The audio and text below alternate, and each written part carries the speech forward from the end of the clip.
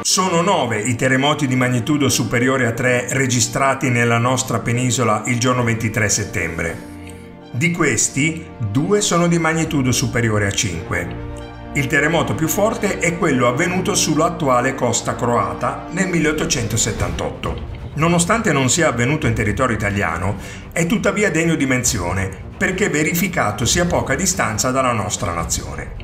Tuttavia, non ci sono sufficienti informazioni per valutarne l'impatto sulle nostre città. Il terremoto della Marsica del 1915 è, secondo molti studi, un aftershock, ovvero una scossa inserita in una sequenza di eventi che si verifica dopo l'evento principale, legato al terremoto del 13 gennaio 1915 di magnitudo 7, terremoto trattato in un video a parte. Degno di menzione è il terremoto di magnitudo 4 avvenuto nel 1938 in Valle d'Aosta. Infatti, secondo le conoscenze attuali, sono solo 6 i terremoti di magnitudo superiore a 3.5 localizzati all'interno o ai confini di quella regione, anche se in realtà gli eventi risentiti sono in numero maggiore per i forti terremoti avvenuti a nord, nella zona del Vallese in Svizzera, e a sud, nel Piemonte settentrionale. L'evento sismico del 1938 è descritto in molti quotidiani, dai quali però non si evince alcun danno,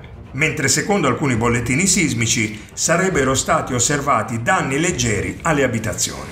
È da notare che nel 1938 erano molti gli strumenti sismici in funzione nella nostra nazione e in quelle limitrofe. Si trattava di strumenti ancora molto rudimentali, in grado però di produrre sismogrammi estremamente preziosi nella ricostruzione della storia sismica dell'Italia. Purtroppo in molti casi il materiale è andato perso, lasciando talvolta aperte questioni geologiche di rilievo, soprattutto nelle aree a sismicità di minore magnitudo. Per informazioni sulla differenza tra i tempi in cui sarebbe avvenuto l'evento come pubblicati sul bollettino, sul catalogo e sull'articolo mostrati in questo video, rimando ai terremoti in pillole numero 43.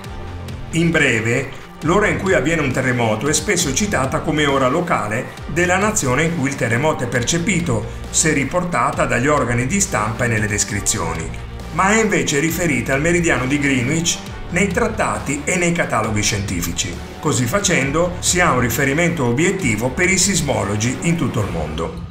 Nel calcolare il tempo assoluto si deve ovviamente anche tenere conto dell'ora legale.